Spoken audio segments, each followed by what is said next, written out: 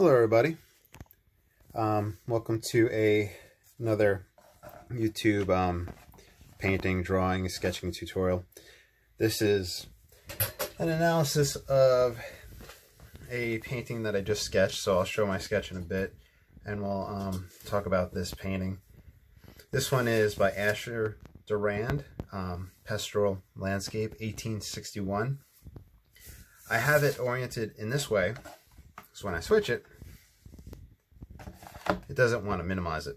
So um, I'll show it in this fashion and then I'll turn it sideways to zoom in some stuff. So first of all, uh, another Hudson River Valley painter and it seems very similar to the one that I had done yesterday. I don't have the one yesterday right in front of me and I have the name with the piece of paper in the other room, unfortunately. But uh, once again, a grouping of trees, uh, a water element, then further background element. Then here, there's a plain, and there's even um, there's even a church. There's even some water back in here. That looks like a church. Then further we have more plain. That line probably represents some water back there. Uh, mountainous hill, another layer of hills, and then even further back, I believe that's even more uh, plains going back. So there's just so much depth and layers taking place here. So, um, so once again, uh, trees blocking on either side. Yeah, I noticed um, again, there's kind of a sloping down, so there's that hilly aspect, which I've been seeing a lot of in the Hudson River Valley paintings. And th these are like of locations, so it is quite hilly over in that region. As I looked at it, I noticed there was like a lot of little different focal points, things to look at. We had the um, cows, which I'm uh, really having a lot of difficulty fathoming how they painted those cows so small. Um, I, have been just kind of sketching it, and I want to carry cows over into my uh, watercolor paintings and oil paintings, but I'm just wondering how they got so much detail in that small, small object. Zooming in, you also see a, um, I guess it's a dam or something back there, bridge. A lot going on. Here in this region, there is a path, and this is my first time zooming in on the path. And all the way back here, we have a building as well. So we had a lot, a lot of little elements just placed throughout this and stuff that you could just look at it for hours and just start finding new and new things within it. So it was quite a little challenging. It was fun. Um, overall, I'm starting to see a lot of patterns with trees and whatnot um, being replicated. The shadows, the darkness in the trees blending into other dark masses. And that's uh, another thing that I want to carry over as well. Also, um, just the subtle details within these trees are very interesting. And once again, very like light sky, light valued sky. Um, so that's a really good carryover and something to keep in mind with uh, painting. Sometimes we really don't need to darken the sky so much. We really don't need to overdo it. So overall, just a fantastic painting. I'm going to show my sketch that I had done of it.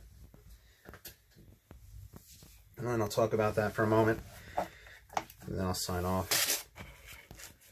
So, a lot of the elements that I just showed you in that painting uh, did not show up in this one. For example, that bridge, that small house, way back in here, that church.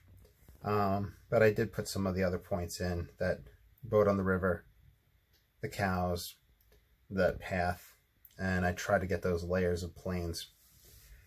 Uh, with this, my main approach, besides kind of modeling stuff in that time lapse and getting things in place, was literally just um, density of strokes corresponding to distance and value. I tried to do like the minimum amount of strokes here for the farther distance, a little bit build up, horizontal strokes to represent a plane in that area, So kind of directional that was taking place. But here, we started doing some, um, the hook shapes for the trees. And I left that really light. They are lighter in the picture than the foreground darks. I tried to do a little bit of build up, but just small gestures just to say, hey, these are trees in here, and that's what's taking place. For variety in the reflection, places that I built up, I brought down a little bit darker reflection. Within his painting, he brought down uh, the color values. So some greens and um, some kind of earth sienna tones in there. Now, uh, closer to the foreground, I've been doing that hook shape still. I've started to add a cross hatching more and more in order to uh, kind of shade in those darker areas.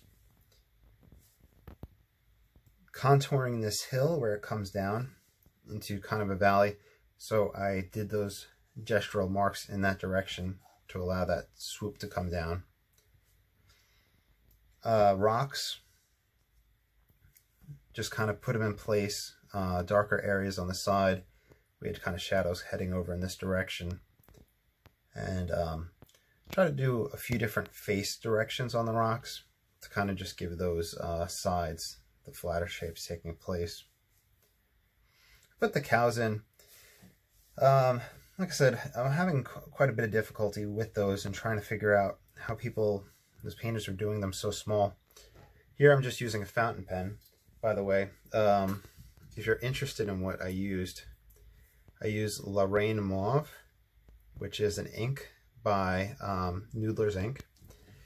That is a bulletproof ink, a waterproof ink, and people that have done not completely scientific light fast studies have had very little fading with that ink. So I wanted to use a different ink, and I used a, um, a different fountain pen, a Noodler's fountain pen that kind of matches that color. Anyway, so that's how I kind of built up the concentration of the darks of the ink. I think that's the darkest I could have potentially gotten. Um, if I would have kept going over it with those hash marks, I'm not sure how much further we could have went. Here, I was having trouble seeing that in the picture, and I had to have the picture right here alongside me in that smaller way since the turn was making it larger. But I used perspective here. I kind of had to wing this spot to get that perspective line taking place, let it build up in size. So it's kind of a triangular shape leading up to this area. Um, lighter strokes for the lighter trees portions, which is mimicking the lighter strokes back here, but we do get that um, forward push.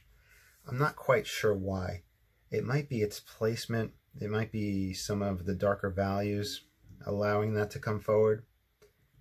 Um, that's something that I need to uh, just think about more and try to figure out why that is taking place the lighter strokes there. May just be size wise. Anyway, stopping point was very um, interesting. So the eye will stay inside, travel back, travel to these spots. Little gestural strokes for um, grass. There's um, little flowers and um, wildflowers and whatnot that seems to be very, um, I guess the word would be pre prevalent within Hudson River Valley paintings or the 1800 paintings where this layer in the foreground has um, a lot of fun little specks and colors and whatnot to kind of model that. Yeah, this corner dark. This corner wasn't as dark, but I started putting that in a little bit because I feel like that helps frame it as well. Uh, like I said, the sky was very light. There really wasn't much going on in it but I did a few just little gestural um, clouds, and that was just a little very light motion, seeing if I could catch some paint uh, ink onto those spots. So overall, uh, very interesting. Another painting with a, drawing with a lot of depth to it, um, where I had to kind of use the the winging knowledge in order to get that perspective and that road taking place. Like I said, since it was so dark, remember gestural marks to get the contours of things. And once again, uh, just to reiterate, lighter strokes, uh, less density for farther distant objects, um, closer, uh, denser strokes, um, darker values to bring things closer. So anyway, I hope you enjoyed, and um, hopefully this afternoon I will have another painting for y'all. A whole bunch of links down below. Please like, subscribe, follow. If you want to support me on Patreon, I'd really appreciate that. Um, I'm thinking soon I'm going to have to place another order for various papers. And go through paper really quick. Also, if there's any other type of inks that you want me to um, draw with, let me know. I love um, the Noodler's inks, and I will praise them from the rooftops like all day long. Um, especially since the, the, some of them have the potential of being light fast, which is really hard to find in fountain pen inks. Uh, so far, I know of one, two, maybe three other brands that have at least one ink that's light fast. Well, Noodler's has quite a bit. So anyway, hope you enjoyed, and I will see you all soon.